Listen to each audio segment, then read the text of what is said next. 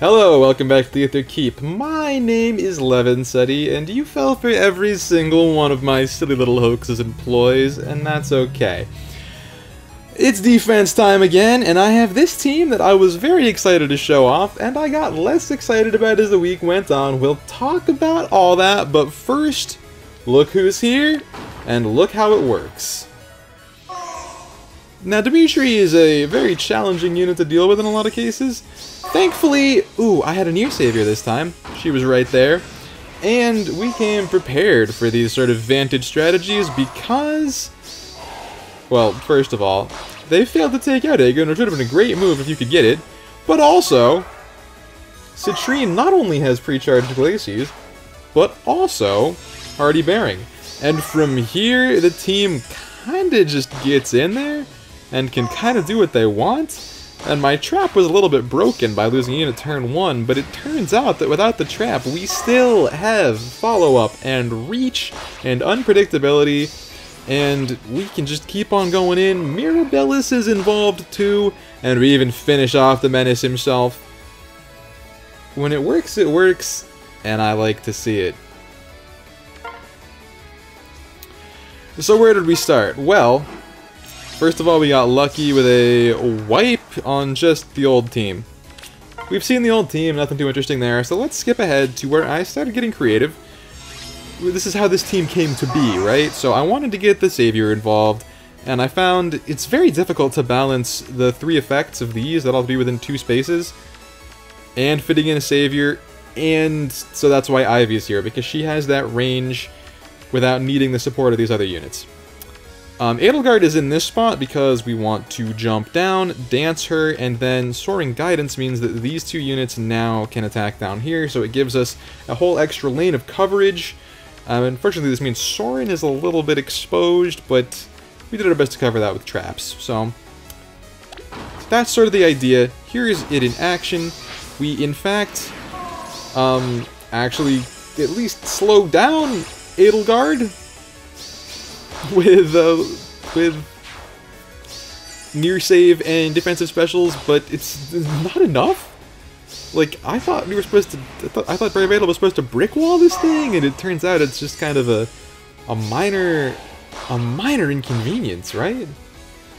But you know, so it goes. Anyway, even though I forgot to put the engage ring to get flare up, uh, we still get it off. And we get two KOs, which is a very solid showing.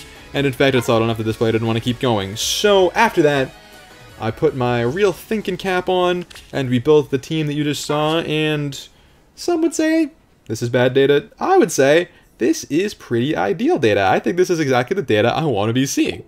And then we already watched this one.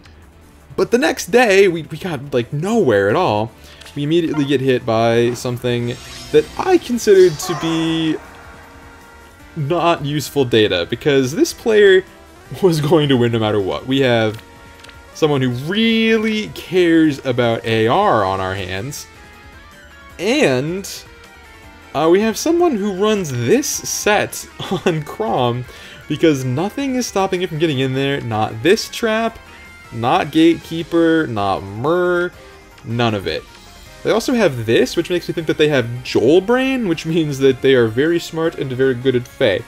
So how do they approach? Just watch this. The guidance, the dance, the re-guidance, the trap neutralization, the charge. Taking out my dancer, easily taking out my far my near savior because of the extra damage. And just forcing every gale they possibly can on me as hard as possible using the chip damage to one-tap Frere with a red unit who doesn't have DR piercing, and the double shutdown from Sather. It this really seems like one of those cases where I would have had to come up with something completely novel to shut down this player. And Squeeze Juice, you played dang well. I didn't even want to rematch you because I saw what you're like, and I saw this was your display unit. I just have better stuff to do. I don't have enough ladders for this.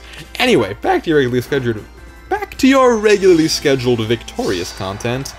We have the guy. I want this. This is an amazing unit that would be so fun to use Someone buy me one of these. Uh, you can super chat me in my next stream, which I will be doing more of because this is new computer Sety.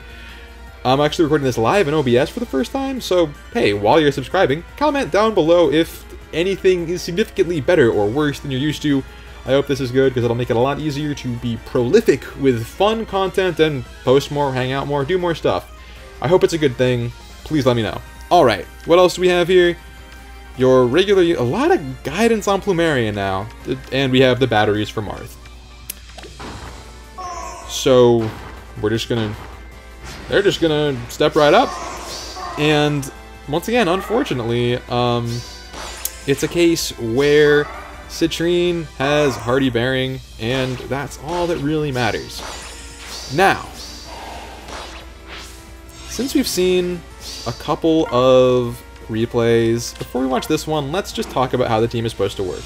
Now, the idea is if someone tries to tank this or doesn't understand the range extension, what happens is Mira dances Frere, she has Soaring Guidance, so now Ivy and Igrene can hop down here. But also, Ivy has a Rally, so she can Soaring Guidance over Mira and rally Citrine, meaning that Igrene can also get down to here. So basically, almost every tile on the map can be covered by this massive growing wind, which I think is pretty cool. At the same time, we have Igrene spreading her buff to Citrine, who then spreads it to Gullveig, so these trenches that look like they're locking her in actually do nothing. That's the basics of the team. Here it is again in action. We have a, uh, you know, best Omni tank in the game, allegedly, probably, because of Miracle and whatnot. But when you are epic, first of all, I don't really understand how the AI works on that. I don't really know what's going on there. It's kind of crazy to me. Like, why did the rally happen before the dance? Couldn't tell you. The team is so... The team is called codename Trap Queens, and there are so many traps, I don't even know about all of them. But, um... Miracle can't help you when you're already at 1 HP, and that is why Igrene is my favorite unit, that's why I'm suffering to build a Dark defense in Goto bonus season. Which is coming up. Okay, now we get into the Dark times. So Waffletronic, which I can only assume is next door to Freddy Fazbear's or whatever, it just sounds like some sort of breakfast arcade. Uh... It's more of this, it's some of this, which is the interesting to see on offense. What's it look like? You don't even need this Iron Trap 4 when you just have 70 HP. Ridiculous. Ridiculous game that we choose to play. Uh, so they actually buy a free turn because Gullveig gets no range. They can just go in as deep as they want. And once again, the near save just not doing as much as I thought. Probably I should have been running Pavis instead of Escutcheon, but I don't feel like that accounts for all the problems I was having. And, uh, they... This doesn't look safe to me. This looks like I should have won. But the rally ends up being the worst thing that could happen to me. And we get baited really hard, and that's that. There's nothing else to see here.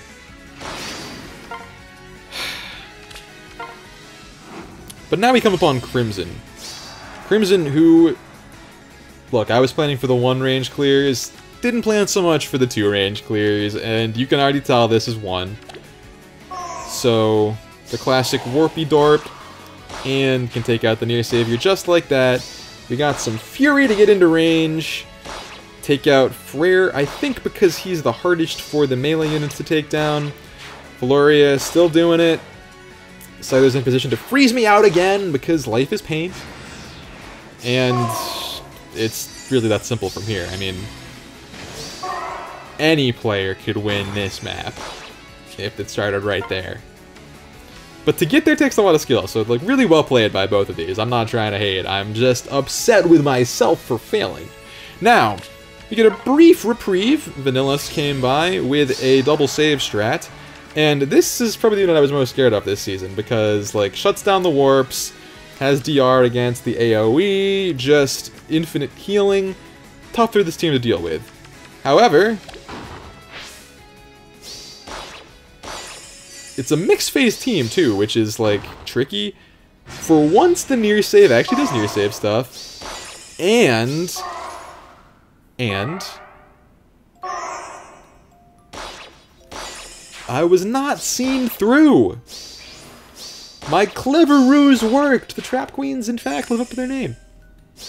Lovely. Great news. Always nice when that happens.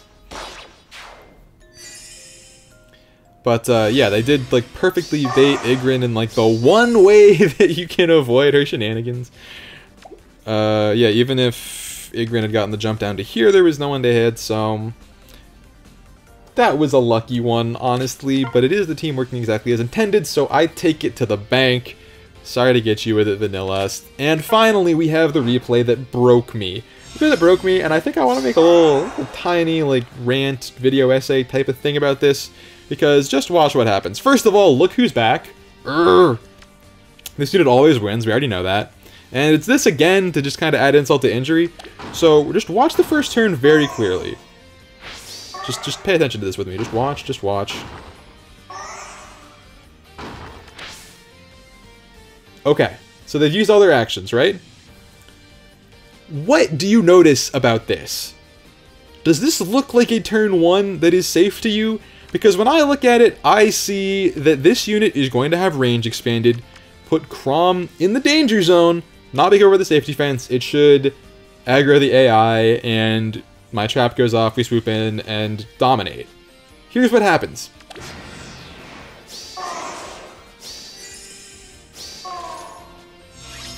Apparently Citrine spreads after the safety fence check? Apparently Citrine spreads statuses after the safety fence check. Let's be very careful with our words. But when they get the free turn like that, I would, basically, my whole clever trick was to like convince people that these two lanes were safe, right? Over here and over here. Lean on me. Always they're spamming duo skills to BM me. Or just because they're on TV and they want to. I don't know. It's probably not BM. It's probably just fun. Or maybe it's because they... Actually, it's honestly probably that they thought some sort of weird thing was going to happen here and they wanted to be as defended as they possibly could be. And some vaguely weird thing does happen, and we actually get a KO out of it at least, so there's something there. But, um, like, the team was built around the two traps in this lane and this lane, and this lane's trap doesn't actually work! What's up with that? I hate that! Why does the game work that way? I deserved more! I thought so hard. I really tried my best, but... I mean, ultimately, they did they did play it well. They took the sacrifice and got out without the pots. It's probably the last match of the week, and it doesn't matter if you lose 20 points most of the time.